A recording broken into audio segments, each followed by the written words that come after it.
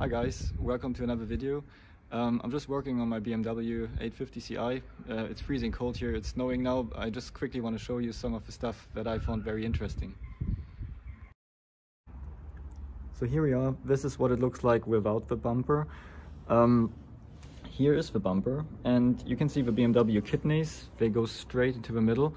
We have a massive air intake here below um, we have our air intakes for the engine here. We will have a closer look at this in a minute. Um, these air intakes are here in the bumper and the lights next to it. Um, we have our uh, brake cooling ducts here. You can see them down below.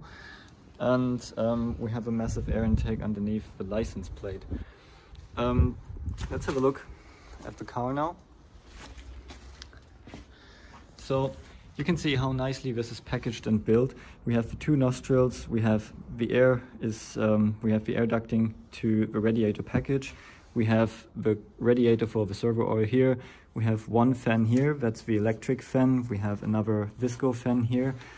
And um, we have the condenser and the water radiator. Everything is beautifully sealed. And um, we have the massive air intake underneath. This looks like the air intake, but it's not. Here is the license plate.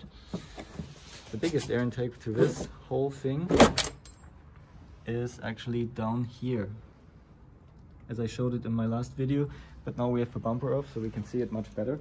So this is one massive air ducting part, as you can see here. So these are our brake ducts and they go through this massive big plastic piece here. And I was wondering what it is. And actually, if you look here, this here, next to the kidneys, is one air intake that has two junctions, or has two other uh, ducts coming off it. Uh, one duct is uh, going to the side into this super large big volume and the other one is going down into that volume and I was wondering what it is and it's actually the airbox of the car so as you can see, it's, it's shaped like the bonnet. It has exactly the shape of a bonnet, so they used the space completely. There's no space left behind the bonnet. Everything is used for this massive plastic piece. And as you can see here, the engine is taking the air straight from it. So I've never seen anything like that, and we have it on both sides. So you can see it here. And the amazing thing is that the brake duct is running straight through this large uh, piece. So piece is here, goes all the way around here, and the brake duct is going straight through.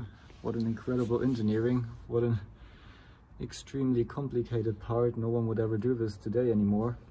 And super nice ducting, everything is, is still soft even after more than 20 years. So it's very nice sealing, very efficient, and a really nice design.